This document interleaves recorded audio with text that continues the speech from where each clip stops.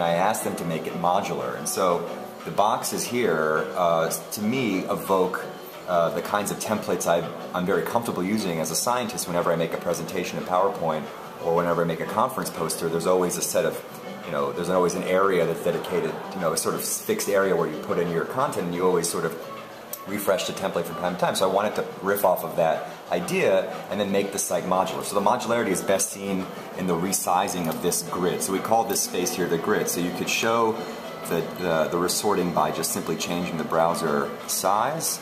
Um, you can also do it manually by this kind of resizing. And so what it will do is collect these content streams over time. And there's two content streams here. An orange uh, label basically my internal scientific content. So that would be blog posts, other things. And the nice thing about the site is it has this sorting function. So if you click on the little badge here, it will swoosh away all the other stuff and just show you all the blog posts. And over time, this is an archive, so we'll start to accumulate many of these blog posts. And the nice thing is everything here has a time. Click on to this to go to the single page, and then we can really sort of see the power, I think, of the site in terms of, first of all, you can see that you can sort of read it on any platform. So we wanted the site to be agnostic to device, wanted to be able to, to experience it on a browser or, or an iPad or whatever you have.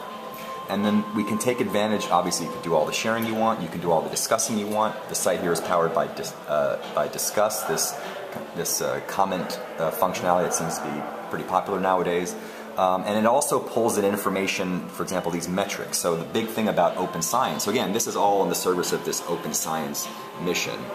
And so, for example, you can see here that this site, for example, Figshare, keeps track of the number of times something is viewed and the number of times something is shared. So this is a, a, a set of files that I shared, and I sort of gave it a title here uh, because I'm actually trying to um, elicit conversation. And the nice thing is you can click on this, and we can show a nice little slideshow. See my science for itself, mm -hmm. and my science is and my science is open for critique and discussion from from anybody, from my peers, um, but it's also there you know, to, to take place in public, this debate. And so people who are in the public who don't know anything about my science, they can sort of see if I have a reputation based on based on the feedback I get from the community. So I just really, in the end, wanted a, a platform to to catalyze online scientific discussion in in a, in a way that I just feel like it's been 10 years overdue. And the promise of, of online scientific discussion with the internet really hasn't been realized in academia. I don't